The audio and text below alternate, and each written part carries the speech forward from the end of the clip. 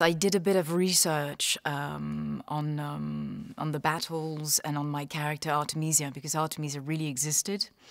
Um, she's a bit different though in this film, uh, but she was uh, yeah quite an amazing character. You know, very strong, like a like an Amazon. You know, and you know a woman commander. Um, you know, all those years ago was quite um, unusual she's the baddie, uh, but it's I love playing kind of um, you know evil characters. It's always more interesting. Evil characters, but who uh, are complex and have a reason to behave uh, in such a way. And um, Artemisia is, you know, she's very ballsy, she's tough, she's fearless. And uh, we kind of find out throughout the film that her whole family uh, got killed by mutinous Greek soldiers. Uh, so that explains um, her, her, need for revenge, you know, her hatred uh, towards the Greeks. When I talked to Zack actually um, on the phone at the very beginning, uh, he really saw Artemisia like a, a samurai. You know, it's all about war, war, war. There's nothing else.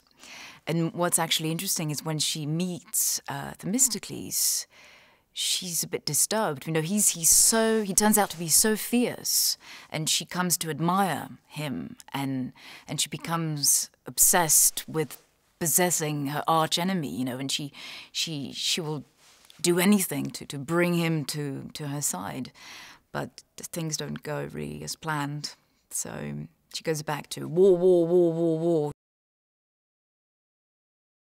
I met um, Mark Twight uh, in Paris, and we trained like two hours in the morning every day. And I'm not the most physical person, so at the beginning it, it was a bit. Um, it was a bit scary.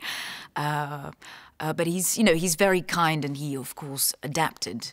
Because I know, uh, I'm sure he was kind of harder with the other guys. You know, they're men; they have to look like, you know, very strong. And he, he was just like, don't think, do.